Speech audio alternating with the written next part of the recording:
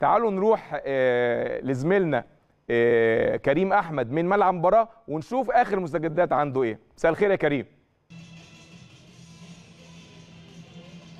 مساء الخير عليك يا كابتن كابتن أيمن شوقي. طبعا كل التحية ليك ولجماهيرنا ويا رب إن شاء الله النهارده يكون يوم موفق للاعيبة النادي الأهلي. يمكن زي ما أنت ذكرت يا كابتن أيمن هي مباراة بثلاث نقاط لكن لها حسابات خاصة وحسابات عديدة. طالعين من البطوله الأفريقية بروح ومعنويات مرتفعة جدا فالفصل ده مهم جدا ودي الحقيقة سمة لاعبي النادي الأهلي والجهاز الفني. إن إحنا بنقدر نفصل بشكل كبير بنقدر نجدد الدوافع بشكل كبير لأن المرحلة مهمة. كابتن أيمن أنت عارف عندنا مباريات عديدة وبدأت بقى خلاص مرحلة التلاحم من جديد. يمكن كنا يعني مريحين شوية كده من بطولة الدوري وكنا في البطولة الأفريقية لكن خلاص نقدر نقول بقى دخلنا النهارده في مباراة بيراميدز وهي مباراة غاية في الصعوبة وغاية في الأهمية. ويمكن الحقيقة بيتسو موسيماني ولاعيبه النادي الأهلي حضروا لها بشكل جيد جدا.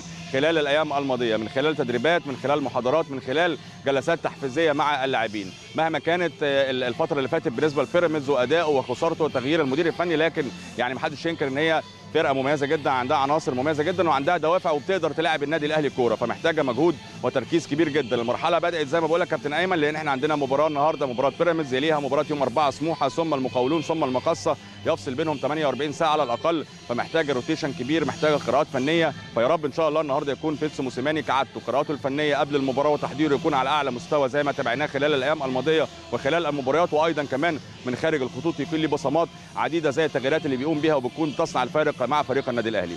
الظروف يمكن حطتنا شوية في بعض الغيابات يا كابتن أيمن. عندنا طبعا أنت عارف أيمن أشرف بيحصل على ثلاث انذارات فبيغيب بقيمته الكبيرة. واحد من كباتن النادي الأهلي أيمن أشرف مع وليد سليمان اللي بنتمنى له الشفاء. يعني مزق فيها الخلفية في توقيت صعب نقدر نقول وليد مش محظوظ شوية لكن الإصابات هي قضاء وقدر. ويمكن وليد من الناس المؤمنة جدا وعارفة إن هذه الإصابات بتكون قضاء وقدر لكن دوره إن شاء الله يكون مهم حتى وبرسائله وتحفيزه مع فريق النادي الأهلي سواء في بطولة الدوري أو في البطولة الإفريقية. بينضم كمان بقى للإصابات أو الغيابات الرؤية الفنية بيتسو موسيماني الحقيقة يمكن خرج من القائمة اللي بتضم 21 لاعب وولتر بوليا وناصر ماهر بالنسبة لي الرؤية الفنية.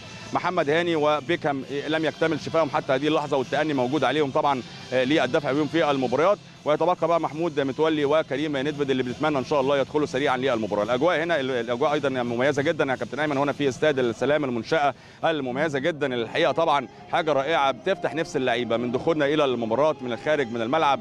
والشكر موصول أيضا كمان لشركة استادات الحقيقة اللي ليها طفرة. كبيرة وبصمة كبيرة جدا سواء في الأندية وتحديدا في استاد السلام. إن شاء الله النهارده يكون يوم موفق مع لعيبة النادي الأهلي ويستطيع النادي الأهلي النهارده إن شاء الله أن يحصل على ثلاث نقاط هتساعده بشكل كبير جدا في بطولة الدوري العام. والرسالة الأخيرة هي رسالة الكابتن محمود الخطيب وحضوره الدائم والمستمر رسالة أب ورسالة طمأنينة بتوصل للعيبة بشكل كبير جدا. فيا رب إن شاء الله تكون دوافعها كبيرة في مباراة اليوم وإن شاء الله يكون اليوم والمباراه من نصيب النادي الأهلي. عودة لك من جديد يا كابتن أيمن. شكرا جزيلا للزميل العزيز كريم أحمد.